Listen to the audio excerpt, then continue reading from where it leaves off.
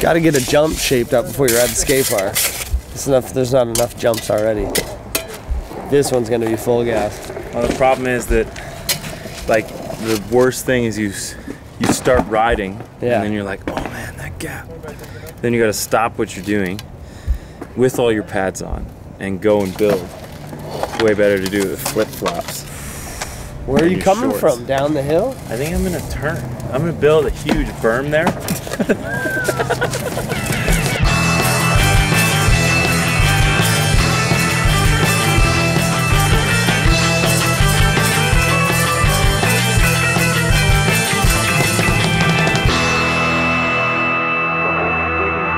blow up and Claire fucking gave me a call. Dude, this morning was so rough. We had a day off, but man, didn't feel like a day off. I think I felt worse after the day off. We rocked up here like a sack of potatoes, like 50 sack of potatoes. Everyone's just dry. Oh, there's like a huge jump out in the grass hill.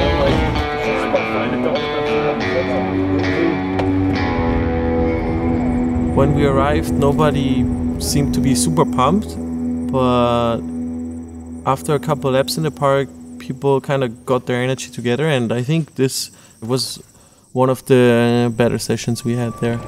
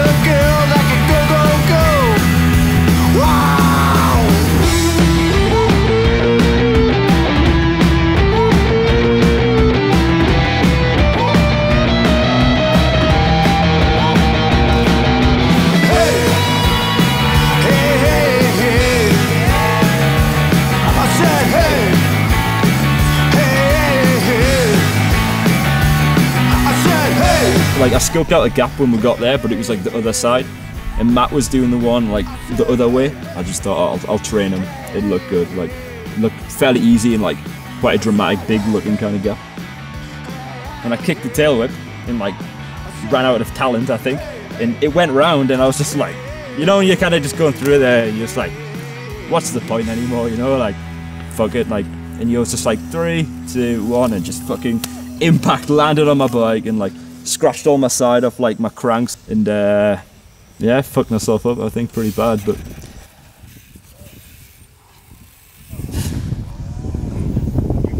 That's good. Standing up. I don't really know uh, what happened. But I mean, I'm okay now, thankfully. But He was out.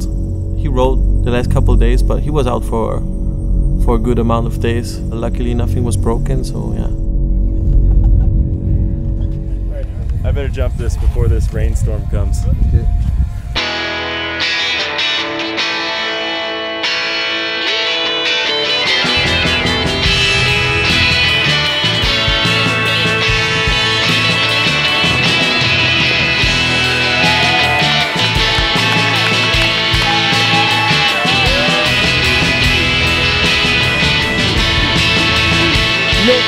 what, you Like you rode and you were like thinking about it all the time? because I'm like an old diesel engine now. I gotta run. I gotta run for a bit before I get warmed up. You know. This is the most perfect timing ever. There's a storm coming right here. Huge ass storm and we just packed it. Now we're gonna go eat some food, do some groceries at the Growth Farm. Yeah, that was fucking sick! So yeah, Rose Farm, we knew it was gonna be big, like the biggest stop for sure. We had so many bands coming, so such a stacked team of riders. Like we haven't really rolled jumps at this point, you know. So we wanted to see what would happen on the dirt jumps. Hey man, it's Nazar. Uh, give me a call back when you can. Thanks. Cheers.